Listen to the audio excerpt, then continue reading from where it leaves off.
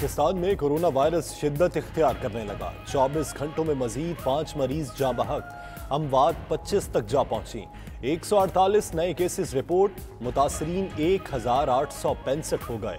خیبر پختونخوا میں دو سو اکیس۔ گلگت بلتستان میں ایک سو اڑتالیس مریض ہیں۔ اسلام آباد میں اٹھاون۔ آزاد کشمیر میں چھ کیسز۔ اٹھاون متاثرین صحت یاب بھی ہو چکے۔ ہیں پنجاب میں قاتل وائرس کورونا کا پھیلاؤ، متاثرین کی تعداد چھ سو اٹھاون تک جا پہنچی۔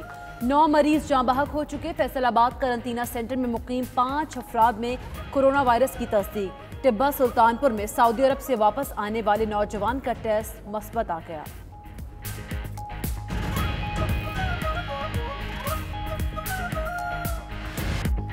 سندھ میں کورونا وائرس کے اکسٹھ نئے کیسز رپورٹ، مریضوں کی تعداد چھ سو ستائیس ہو گئی۔ کراچی میں پینتالیس، حیدرآباد میں چودہ اور جام شوروں میں دو افراد کے ٹیسٹ مثبت آئے۔ تمام نئے کیسز لوکل ٹرانسمیشن کے ہیں۔ صوبائی وزیر صحت ڈاکٹر عزرا پیچوہو کا کہنا ہے کہ سندھ میں اکتالیس متاثرہ افراد صحت یاب ہو چکے۔ ہیں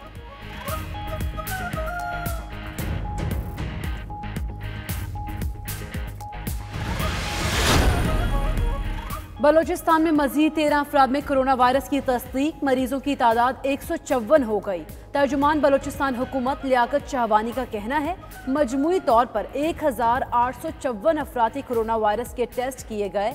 ایک سو اڑتیس زائرین اور سولہ عام شہریوں میں کرونا وائرس کی تصدیق ہوئی۔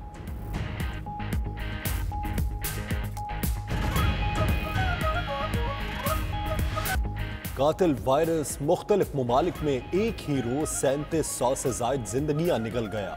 دنیا بھر میں کرونا سے ہلاکتیں سینتیس ہزار آٹھ سو اکتیس ہو گئیں۔ متاثرین سات لاکھ چھیاسی ہزار سے تجاوز۔ اسپین میں مزید نو سو تیرہ، اٹلی آٹھ سو بارہ، فرانس میں چار سو اٹھارہ افراد چل بسے۔ برطانیہ میں ایک سو اسی، ایران میں ایک سو سترہ اور جرمنی میں ایک سو چار مریضوں نے دم توڑا۔ اٹلی میں مجموعی ہلاکتیں گیارہ ہزار پانچ سو اکانوے اسپین میں سات ہزار سات سو سولہ ہو گئے۔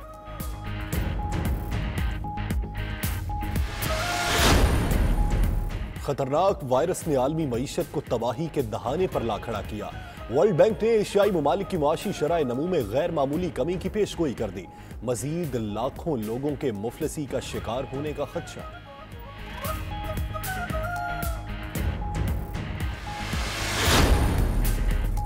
لاک ڈاؤن میں غریبوں کی مشکلات کے پیش نظر کرونا ریلیف ٹائیگر فورس کی تشکیل۔ وزیر اعظم عمران خان آج نوجوانوں کے رجسٹریشن کا آغاز کریں گے۔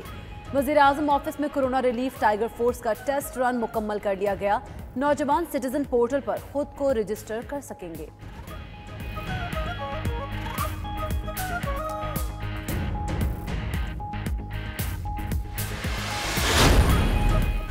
مختلف شہروں میں پھنسے مزدوروں کی واپسی کے لیے حکومت نے کوئی اقدامات نہ کیے۔ شہری آبائی علاقوں کو جانے کے لیے لوڈر گاڑیوں میں سفر کرنے پر مجبور۔ ٹرانسپورٹرز نے بھی لوٹنا شروع کر دیا۔ کراچی میں دو لاکھ روپے میں ڈمپر بک کرا کے باجوڑ جانے والے ساٹھ افراد کو پولیس نے حراست میں لے لیا۔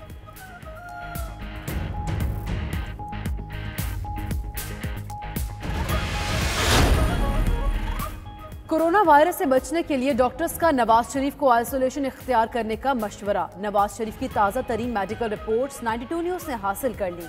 رپورٹ کے مطابق نواز شریف مختلف بیماریوں میں مبتلا ہیں۔ ان پر کورونا وائرس زیادہ جلدی اثر انداز ہو سکتا ہے۔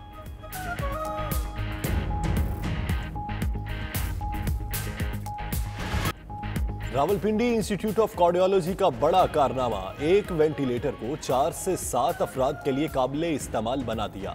نئی ٹیکنالوجی سے ہزاروں مریضوں کو بیک وقت مصنوعی سانس پر زندہ رکھا جا سکے گا۔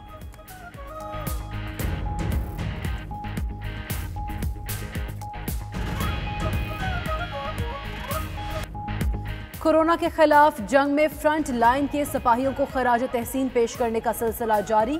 جہلم میں پولیس کے چاکو چوبند دستے نے ڈاکٹرز اور پیرامیڈیکل سٹاف کو گارڈ آف آنر پیش کیا۔ شہریوں نے پھولوں کی پتیاں نچھاور کی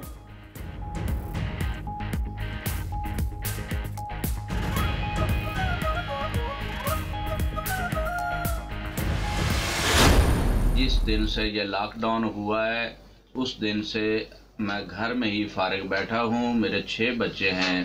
اور تین ہزار روپیہ صرف ماہانہ وظیفہ ہے جو ابھی تک فروری کا بھی نہیں ملا اور مارچ کا بھی نہیں ملا۔ میرے محلے میں کچھ ایسی چار پانچ فیملیاں ہیں جن کو راشن کی سخت ضرورت ہے اور ان کا کمانے والا کوئی نہیں ہے۔ چھ سو سات سو روپے کمانے والے ابھی ہم لوگوں کے لیے روزگار وغیرہ بھی نہیں ہے۔ یہ چار پانچ دن سے لاک ڈاؤن کی وجہ سے بالکل گھروں میں بند ہے۔ کورونا سے بچنے کے لیے اللہ تعالیٰ سے گڑ گڑا کے دعائیں مانگیں۔ خود کو اور دوسروں کو بچانے کے لیے تجاویز دیں۔ راشن کی کمی ہو تو نائنٹی ٹو نیوز کا فون نمبر صفر تین تین چار ایک نو دو صفر دو چھ آٹھ یا صفر تین تین چار ایک نو دو صفر دو سات آٹھ پر اپنے اور علاقے کے نام کے ساتھ ویڈیو پیغام واٹس ایپ کریں۔ ہم آپ کا مسئلہ حل کرنے کی کوشش کریں گے اور پہنچائیں گے آپ کی آواز ارباب اختیار تک۔ مخیر حضرات مستحقین سے رابطے کے لیے ہماری website ninety two news H D dot T V visit کریں۔